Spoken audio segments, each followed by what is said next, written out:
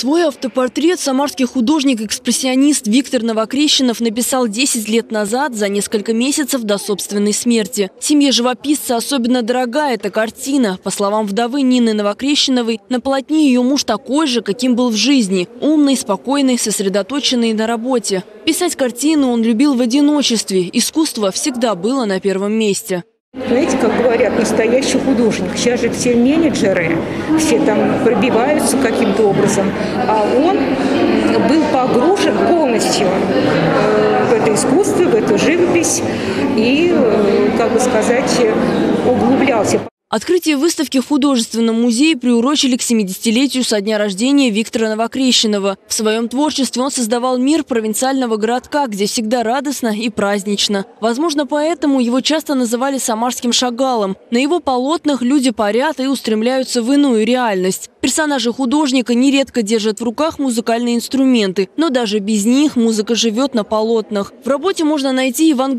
мотивы, цветы и необычные портреты. Экспозиция будет доступна в музее до 3 августа. 30 июня э, нам сказали, что нас могут открыть, и нам нужно быстро сформировать выставку.